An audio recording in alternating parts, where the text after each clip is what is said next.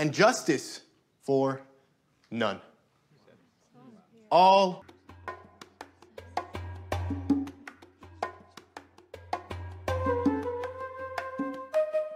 Immortal Aphrodite, on your shimmering throne, daughter of Zeus, weaver of wiles, I pray thee, crush not my spirit nor my soul with anguish and distress.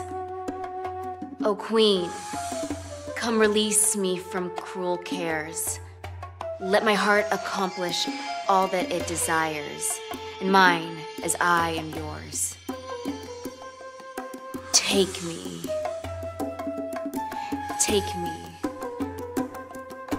Take me. Take me.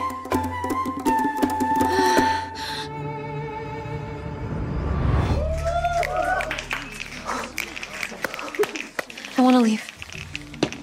what? Take me home now.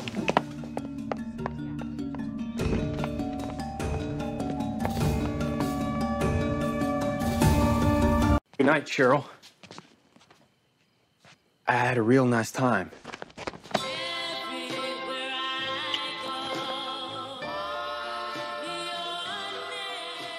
I, I wasn't expecting that. Walk me to school tomorrow.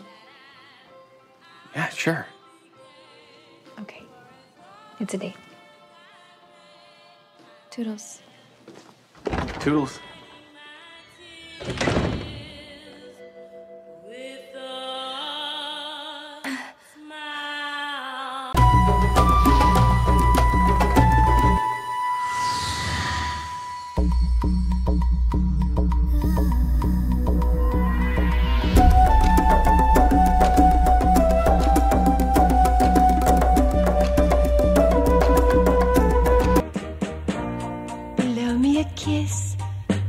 Across the room. Say I look nice when I'm not. Touch my hair as you pass my chair.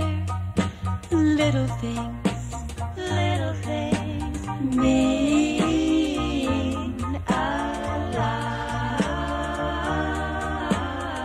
As I'm sure you're aware, based on your eager, sweaty faces, today's lesson will be focusing on the fundamentals of sexual reproduction. Your bodies are changing. Let's begin with a very useful diagram.